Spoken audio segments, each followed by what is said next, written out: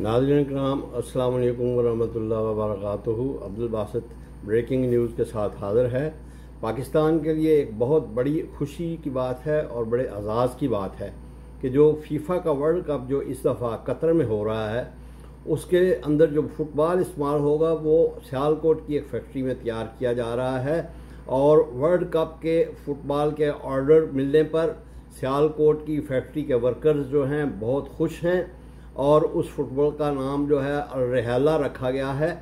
और ये फुटबॉल जो है, इसको इतनी क्वालिटी बेहतरीन के साथ बनाया गया है और ये तीसरी दफ़ा आज़ाद जो है पाकिस्तान के हिस्से में आ रहा है।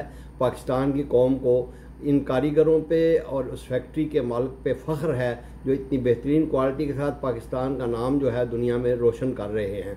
इस खुशी में उसने जो वर्करों को एक्स्ट्रा अलाउंस और एक्स्ट्रा बोनस भी दिए हैं और उनसे वर्करों को अच्छा खासा जो है मुआवजा दे के वो बहुत मेहनत से काम करते हैं और बहुत अच्छी क्वालिटी के फुटबॉल जो हैं वो तैयार कर रहे हैं और इसकी वजह से उस फैक्ट्री को इतना ऑर्डर मिले हैं कि वो कह रहे हैं कि हम दिन रात जो हैं वो ऑर्डर पूरा करने में तैयार कर रहे हैं। अल्लाह ताला जो है दूसरी जो हमारी मसनूआत है उनमें भी बरकत दे और उन लोगों को भी क्वालिटी में इम्प्रूव करने की बेहतरीन ताकत अता फरमाए।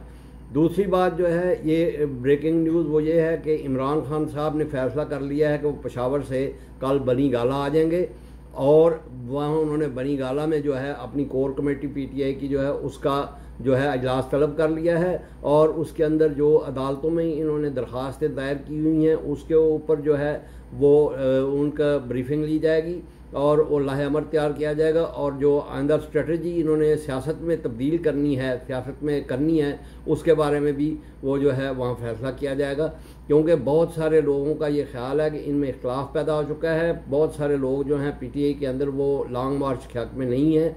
बल्कि वो चाहते हैं कि हम सियासत में रहना चाहिए, हमें लॉन्ग मार्च जो है, उसमें लोग जो हैं, वो नहीं ये अफोर्ड कर सकते कि वो बाहर निकलें और अपने बाल बच्चों के साथ जो है, वो बगैर जो है, उसके इंतज़ाम के वो रहें, ना उनके पास खाने का इंतज़ाम हो, ना रहने का इंतज़ाम हो। ये बड़ी मुश्किल स्ट्रेटजी है। इसके अल्टरनेट जो है, वो ये किया जाए कि या तो अब शहरों में एक एक शहरों में हर हफ़्ते हड़ताल की जाए और हर हफ़्ते एहतजाज किया जाए और हुकूमत पे जो है, दबाव बरकरार रखा जाए। अच्छा तीसरी बात जो है ब्रेकिंग न्यूज़ वो ये है कि जो इन्होंने इलेक्शन कमीशन के फैसले के ख़िलाफ़, यानी उसने जो नोटिफिकेशन जारी किया था कि अभी पाँच जो मखसूस नशस्तें हैं, उनके ऊपर इंतखब नहीं हो सकता, उसके ख़िलाफ़ पीटीआई ने जो है, लाहौर हाई कोर्ट में दरख्वास्त दी थी। लाहौर हाई कोर्ट ने उस दरख्वास्त को मंजूर कर लिया है और छः तारीख को उसकी जो है समात होगी, और ये भी एक ब्रेकिंग न्यूज़ थी।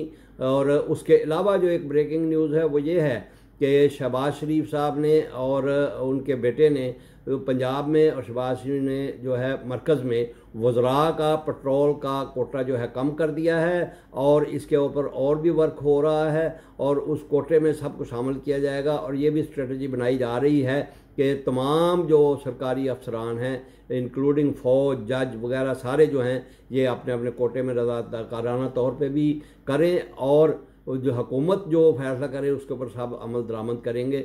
ये वैसे अभी चले, मामूली तौर पे शायद ये कर रहे हों, कमी जो है, लेकिन एक अच्छी बात का आगाज़ हो गया है। अगर ये बात जो है, ये जारी रखी जाए तो हम जो हैं अपनी मंजिल पे आसानी से पहुँच सकते हैं और कफ़ैत शारी को जो है अपना सकते हैं। और मेरा मशवरा हुकूमत भी है कि ये प्रोटोकॉल जो है इसको ख़त्म करें। इनमें जो है सिर्फ़ एक आध गाड़ी जो अगर ज़रूरी हो सिक्योरिटी की वो रखें, बाकी सब गाड़ियाँ ख़त्म कर दी जाएँ।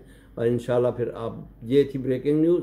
आपके पास जो है दोबारा इन ब्रेकिंग न्यूज़ के साथ हाजिर होंगे। अल्लाम वरहमल